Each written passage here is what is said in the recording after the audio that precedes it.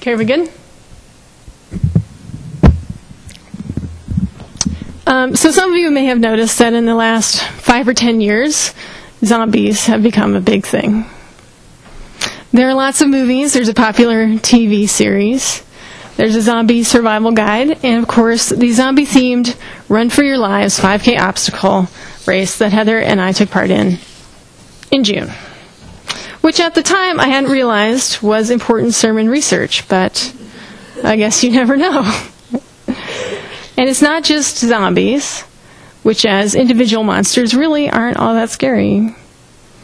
Because even though they're gross, uh, they, on the other hand, they move really slowly.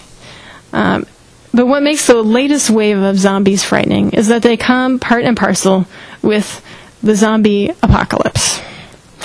I was in a store the other day. I was buying an old egg beater, and the woman selling it to me said with a joke that the only way that that ancient thing would break at this point would be because of the zombie ap- apocalypse. And we both knew what she meant. Some mysterious disease turns people into zombies, and the remaining still living people have to figure out how to survive without the trappings of society, such as gas stations, electricity, running water, and grocery stores. And they must do all this while either avoiding or killing hordes and hordes of slow moving but persistent and sneaky brain dead former humans. So I have a couple of theories about the zombie craze and why it's so popular. Aside, of course, from being just another fun and creepy fashion. I think there are some underlying currents in the culture that the zombie apocalypse is tapping into, like underground streams connecting our collective unconscious. Very Carl, Carl Jung, right? All right. Anyway, um, one is that we're trying to figure out what it means to be human. Is it enough to have a body but no self-awareness, except for your constant desire for brains? What does it mean to kill a zombie? Hi, Ann. Who used to be your stepfather? I know, right? All right. Um, Ann's going to help me with the sermon now. But the other thing I think the zombie thing is about is our fears about a coming environmental collapse, aka climate change. So something that really bothered me during the presidential campaign that we just came through. No, I'm sorry, it's not time, man.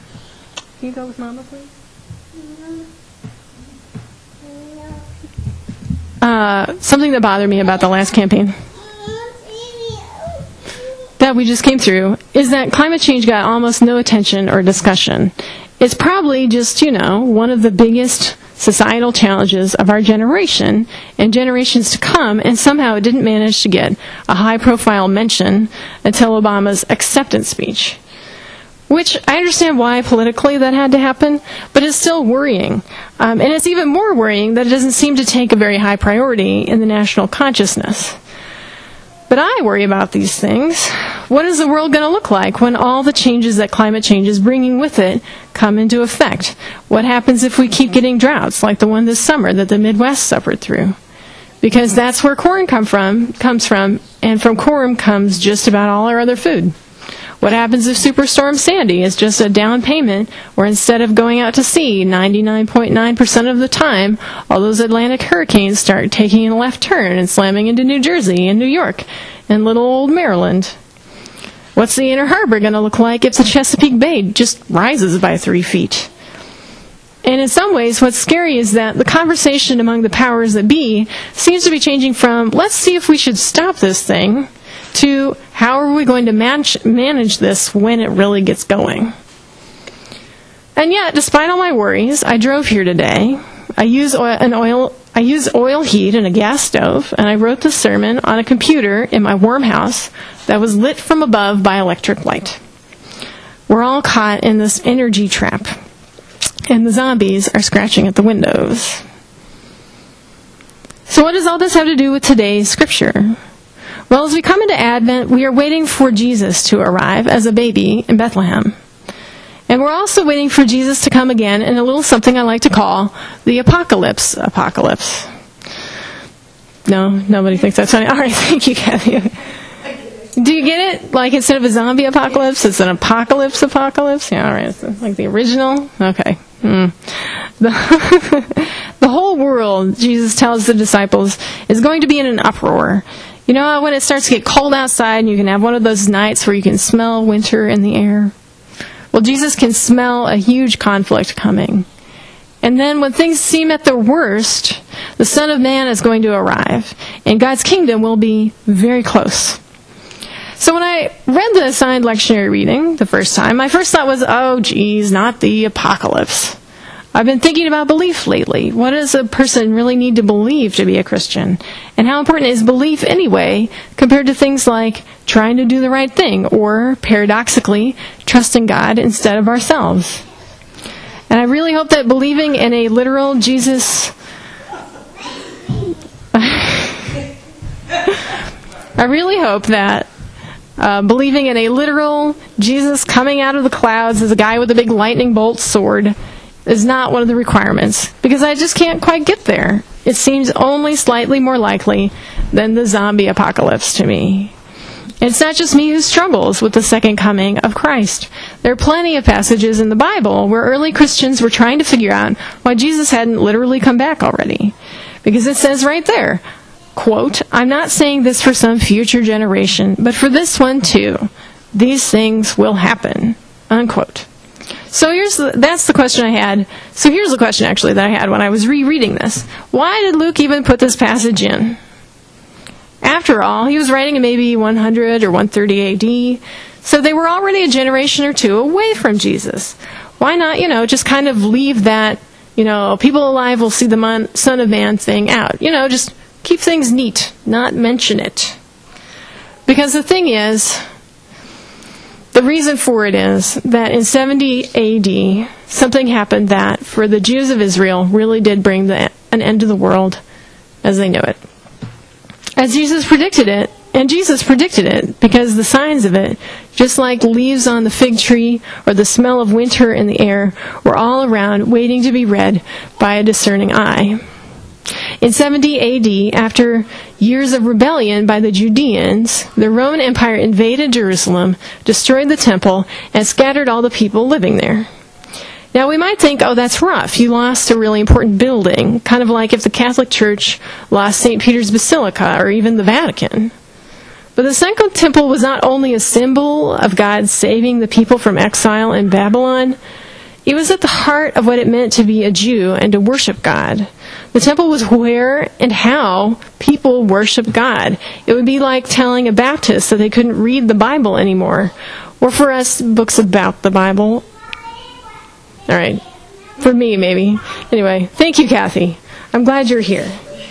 70 AD was the end of the line for Temple Judaism. Other things came up in its place Christianity, Rabbinic Judaism that we know now, but essentially a way of life and a religion died at the hands of Rome that year. So, what can we expect when the world comes to an end? In the zombie apocalypse, we have to learn violence, we have to trust our own creativity and survival skills, and basically, you're on your own. It's a test to see who's smart, tough, and lucky. In the apocalypse apocalypse, on the other hand, while there is testing, while we have to pray that we'll have the strength and the wits to make it through everything that's coming, at the same time, the apocalypse, the word apocalypse, is literally revelation. A revelation of God's power, of God's presence, of God's kingdom. We need to give our best, but ultimately this is about what God can do. We need to stay alert and do our part, but the larger drama is God's saving work in our lives as individuals and in the life of the world as a whole. So, how do we prepare for the apocalypse? How do we prepare for God's kingdom? What does it mean to live into a different way of life?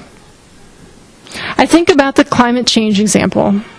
No one person can do everything that needs to be done to bring the carbon in our air back to an environmentally sustainable level. But there are people who are trying things, some extreme and some mundane. Getting their house insulated, signing up for wind power instead of coal for electricity, or riding their bike everywhere. There are people who are taking radical adventures, living in the middle of nowhere, relying only on the land, or trying to have zero ecological impact in the middle of the city. And all these individuals, all these efforts help. They, we, make a difference. But the problem is bigger than individuals, and it's not clear right now if our institutions are up to the task of facing this reality and getting the Titanic turned around. There's a lot to be worried about. And yet, even with the world coming to an end, maybe especially with the world coming to an end, God's kingdom is near. There is some comfort looking back at Jesus' words and realizing that we're not the first ones to face cataclysm. And the promise of Scripture is that, unlike in the zombie apocalypse, we don't face the danger and destruction alone. God goes with us. Help is on the way. It may be that help looks like the people leading so that the leaders can follow. It may mean that helps look like help looks like powerful people from above finally getting it and throwing their weight around. It may mean that help is just a good cap and trade bill.